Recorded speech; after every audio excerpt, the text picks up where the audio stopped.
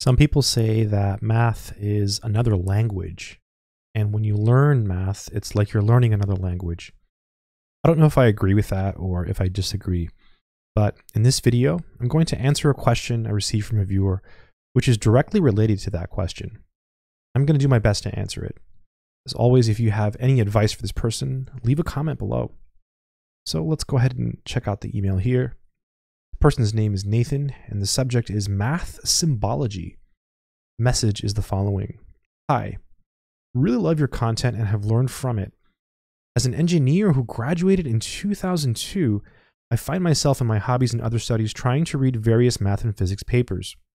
I've forgotten a lot of my original studies, and if I'm being honest, I was not as good of a student as I am now, so it can be hard to follow a lot of the math. The biggest issue I have a lot of the time is just following the symbology. It's kind of like trying to read a language without knowing the alphabet.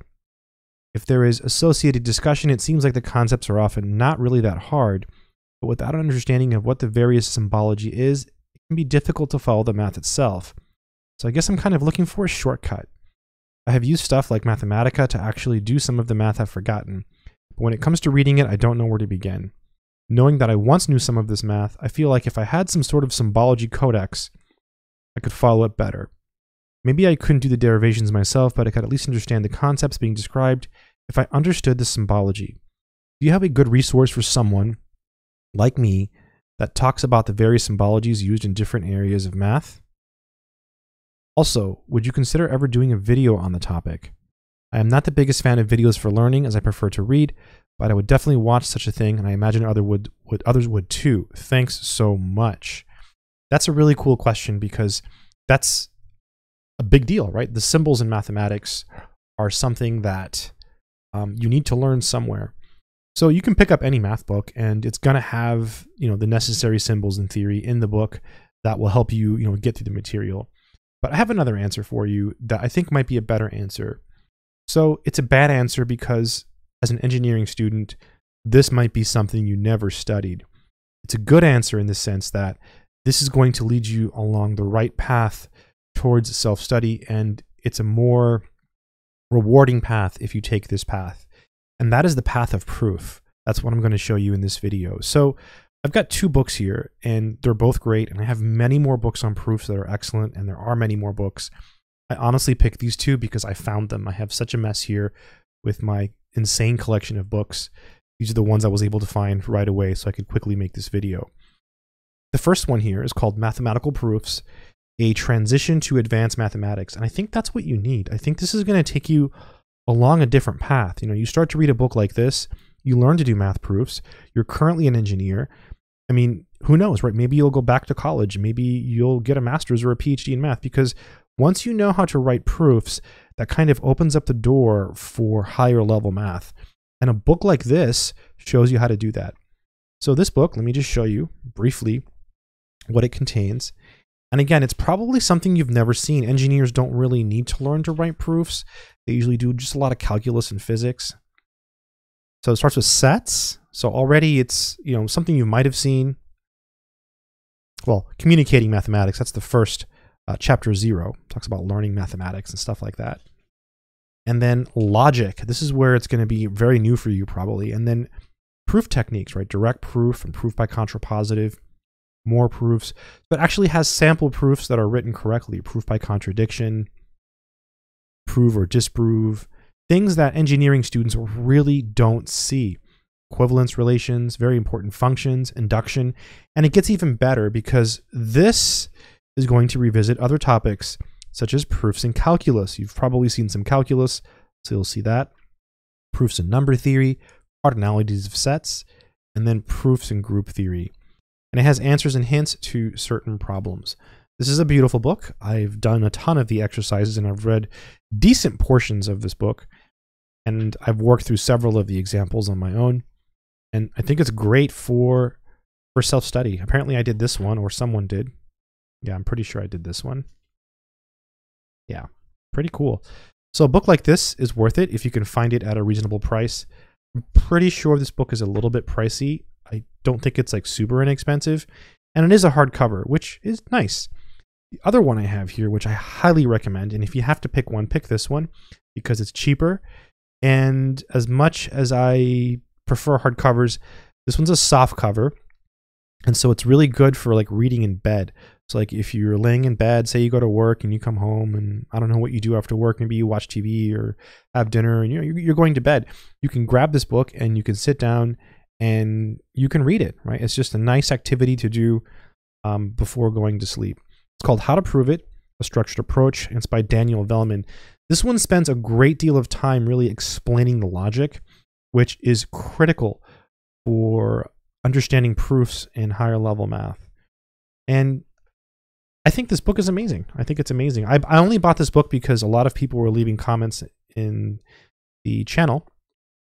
And when I first got it, I, I really wasn't um, too excited about it because I already have other proofwriting books that I really like, like like this one and several others. And I started reading it and I thought, wow, no wonder people like this book. This is really good. This is a great book.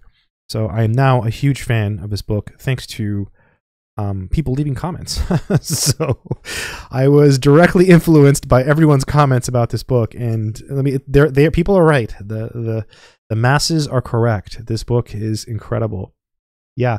You notice it doesn't have as many topics as um, the other book. Like the other book has specific chapters devoted to proofs and group theory, proofs and number theory, etc. This does have nice examples and stuff in it. You'll find scattered knowledge in there, but um, it's a little bit different. It's a little bit different. Obviously, it's better if you can get both. It explains the concept of a vacuous truth really, really well. Uh, and it, it'll try to explain things in more than one way. So sometimes it'll explain a certain concept and then he'll say another way to think about this is and i think that's really good because he's giving you you know a different perspective uh, on the same topic which is helpful you know you, you get one of those i'm just going to use calculus as an example one of those big calculus books and, and you're trying to learn let's just say um, you know surface integrals and you look at an example and you're like okay i think i get it and then you go to the exercises and it's like ah, that doesn't make any sense right so i'm sure you've been there this book tries to avoid that by giving you plenty of explanations and plenty of examples.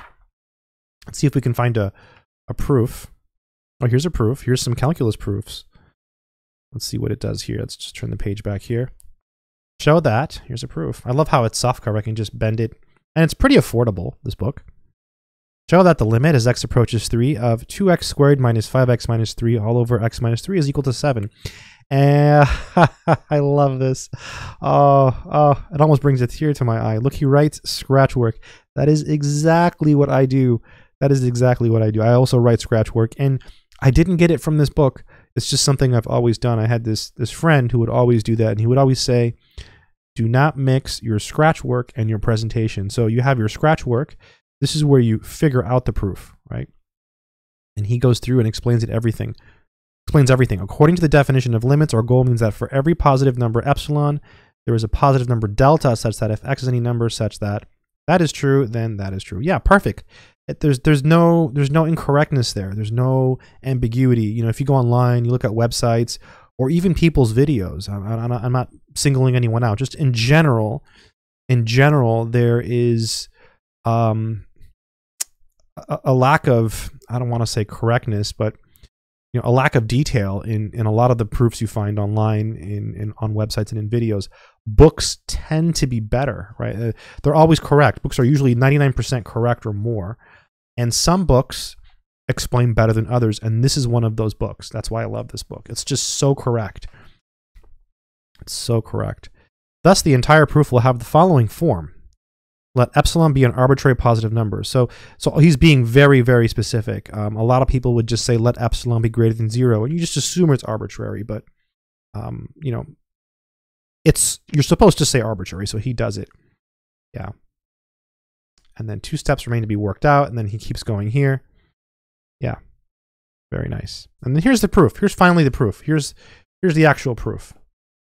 Look how short that is. So he spends a great deal of time explaining just to get here. Okay, just to get here.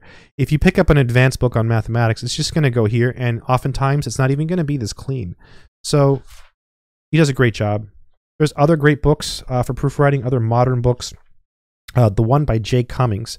is one that I recently picked up, and it was really cool because I reviewed the book by Jay Cummings. I'll, I'll try to leave a link in the description to that one because it's great. I own it. I own all of his books, and he commented, uh, and I know it was him because it had his picture. I'm like, oh my god, he saw my video. That's really cool. Maybe he can autograph my book, but no. Yeah. Anyways, I digress. Um, symbology in mathematics. Yeah. So get a book on proofwriting, and I think it's going to help you. I think it's going to help you with the symbols in math. You're going to learn a lot, and you're going to be blown away by what mathematics is because as an engineering student, you know, you, you study math, you do a lot of math. Engineers do a lot of math, they do a lot of physics.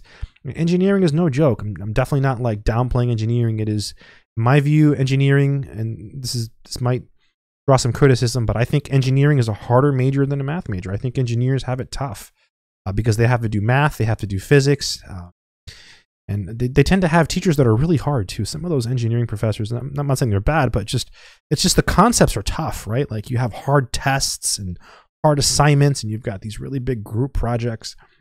It's, in my opinion, one of the hardest majors out there is engineering. So when you see something like this, it's very different and it's very beautiful. And this is this is why math people love math. At least it's one of the reasons I love math is, is proofwriting. So hopefully this will show you uh, some of the beautiful areas of mathematics. It's very rewarding when you can uh, write a proof on your own. So I'll try to leave links to both of these in the description. And if anyone else has any advice um, for books on math symbology um, that could help Nathan or anyone else, maybe there's another approach. Maybe you can get a different type of book besides a proofwriting book. So um, if you have other ideas, other comments, I'm sure there's other ideas or, or other re recommendations, leave a comment in the comment section below. Anyways, till next time, good luck and take care.